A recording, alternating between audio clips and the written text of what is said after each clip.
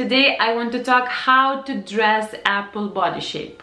Well, actually not how to dress. You can dress whatever you want. How to flatter your body proportions if you have apple type body. It is very important to make sure that you really have apple shaped body because a lot of women they tend to consider that if they have uh, additional centimeters or kilograms uh, around the midsection they are instantly becoming apple body shapes. But that is not true. You might have additional centimeters around your waist. However you might be at the same time pear shape or even hourglass or rectangular so apple body type means that your belly, your midsection is the most prominent body part in comparison to your whole body proportions.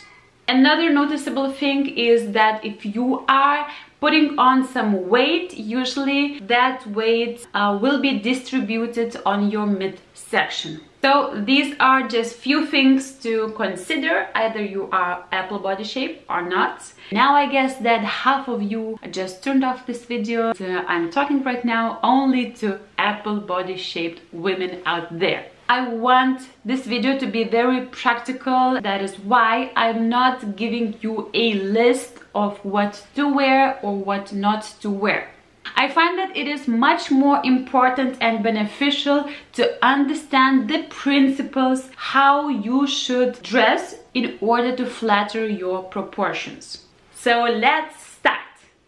Principle number one divide your midsection. Often when I hear the question, how should I hide? You just, I instantly want to replace this word. That word hide, it has such a negative energy. I really want you to create a little bit different approach. So this is the circle. If I would ask you where is the diameter of this circle, you would instantly be able to spot it because it's just a plain circle and you can draw the line from one point to another point. Easy. Now let's play this game if I would add two vertical lines on the sides. Okay, how about that? I mean, you can still, of course, say where is the diameter. However, vertical lines on the sides, they kind of trick the eye. Does it? Okay. Let's make it even more difficult. Let's color those sides in black. Ta-da! The first glance, when you take a look at this circle, you will think that the diameter is two times shorter than the actual diameter of the whole circle. This principle is all about that. Dividing your midsection by adding vertical lines to your look.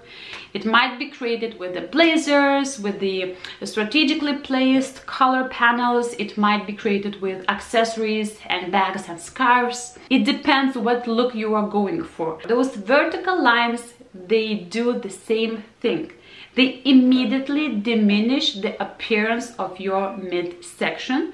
That is how your midsection becomes divided and at the same time less prominent.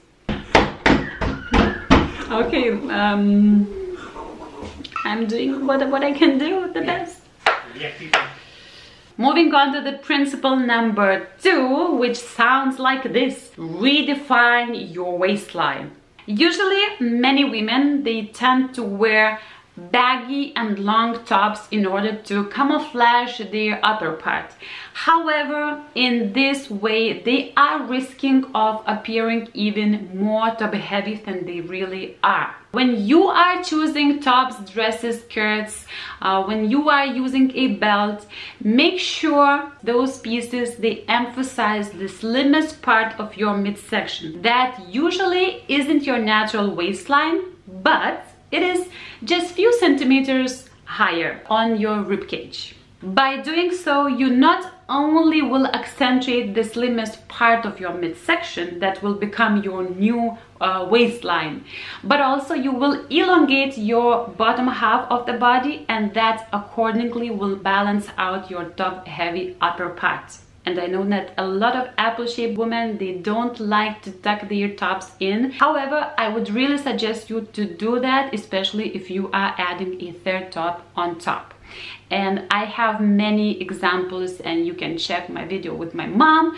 or you can check you will be able to check more examples in my upcoming video because I have my beautiful friend and you're gonna see the results from her own wardrobe.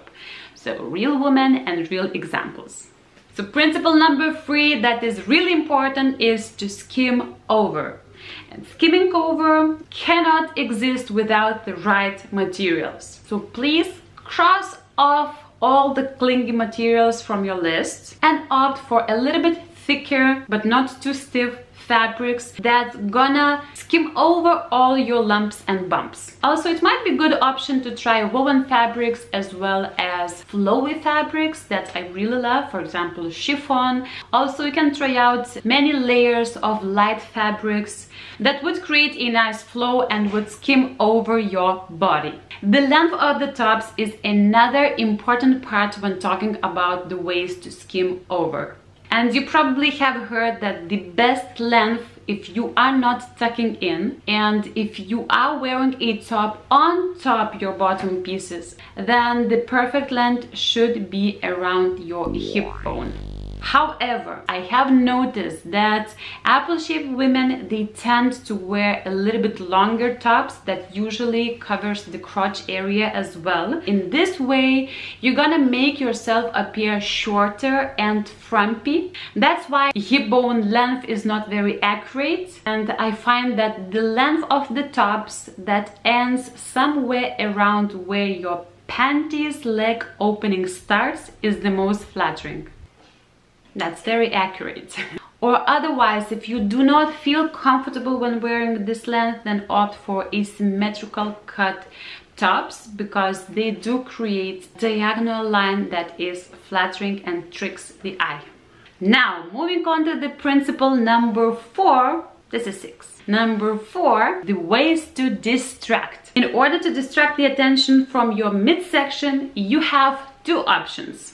Option number one is trick the eye. So you can trick the eye by wearing strategically placed drapings, uh, ruchings, strategically placed prints or color blocks because they tend to flatter and camouflage. However, you have to make sure that they do not add additional bulk to your midsection. As I have already been talking, material is very important in this case as well. The second option, how you can distract attention away from your midsection is strategically create focal points. Because as we already talked if you have apple shaped body then the most prominent part of your body will be uh, your tummy. And that is how naturally the attention goes to that part. However you can play around with different things to trick the eye and create new focal points.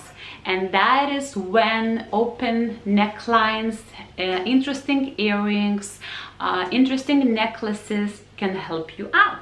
So when you open your neckline or create new focal points uh, by wearing statement pieces that is how the eye just naturally goes upwards. You can also draw the attention downwards. In this case choose uh, light printed bottom pieces or pieces that have interesting pattern or you can choose statement shoes.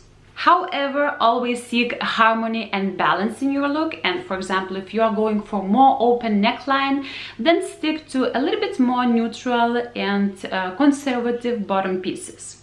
Now moving on to the last principle, show off your legs. A lot of apple-shaped women, they tend to have beautiful legs. That is why you should show them off. However, that does not mean that you have to wear miniskirts all the time, but your hemline can be somewhere around your knee area. Another option is to go for statement pants. For example, they can be embellished trousers, they can have uh, interesting pattern, or they can be in vivid or even lighter tones. Even though you really have beautiful legs, do not go for too tight pants or leggings because those types of bottom pieces, they just make the disproportion of your top heavy and slim bottom even more obvious. And yeah, so that was the last principle and since my baby is calling me, uh, I just wanted to quickly remind you that the most important thing is to look for the ways how you can divide your midsection in order to make yourself look leaner and taller.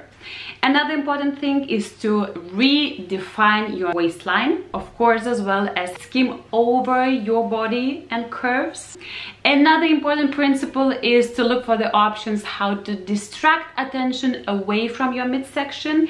And lastly, you have beautiful legs, show them off. And that is it for today. Thank you so much for watching. Uh, please be safe and take care of your beloved ones and people around you. Sending you lots of distant kisses and hugs. Take care. Bye.